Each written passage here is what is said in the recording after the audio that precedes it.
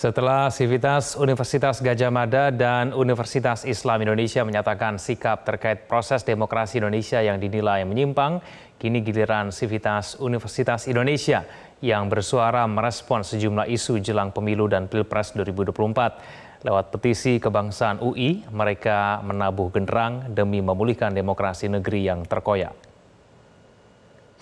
Lima tahun terakhir, utamanya menjelang pemilu 2024 ini, kami kembali terpanggil untuk menabuh genderang, membangkitkan asa, dan memulihkan demokrasi negeri yang terkoyak. Negeri kami nampak kehilangan kemudi akibat kecurangan dalam perebutan kuasa. Nihil etika, menggerus keluhuran budaya, serta kesejatian moral bangsa.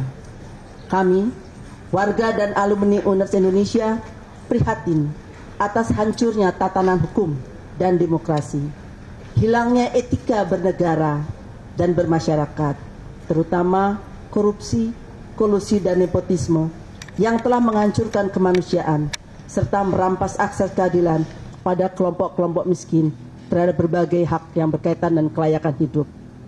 Keserakahan atas nama pembangunan tanpa naskah akademik yang berbasis data, tanpa kewarasan akal budi dan kendali nafsu keserakahan telah menyebabkan semakin punahnya sumber daya alam, hutan, air, kekayaan di bawah tanah dan laut, memusnahkan keanekaragaman hayati dan hampir semua kekayaan bangsa kita. Maka berdasarkan ruh kebebasan akademik yang kami punya, kami berdiri di sini mengajak warga dan alumni Universitas Indonesia dan juga seluruh warga Indonesia untuk segera merapatkan barisan. Pertama, mengutuk segala bentuk tindakan yang menindas kebebasan berekspresi.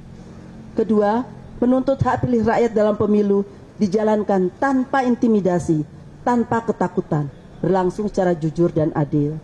Tiga, menuntut agar semua ASN, pejabat pemerintah, TNI dan Polri bebas dari paksaan untuk memenangkan salah satu paslon. Yang keempat, menyerukan agar semua perguruan tinggi di seluruh tanah air mengawasi dan mengawal secara ketat pelaksanaan pemungutan suara serta penghitungannya di wilayah masing-masing. Mari kita jaga bersama demokrasi dan negara kesatuan Republik Indonesia yang kita cintai dan banggakan. Jelajahi cara baru mendapatkan informasi. Download Metro TV Extend sekarang.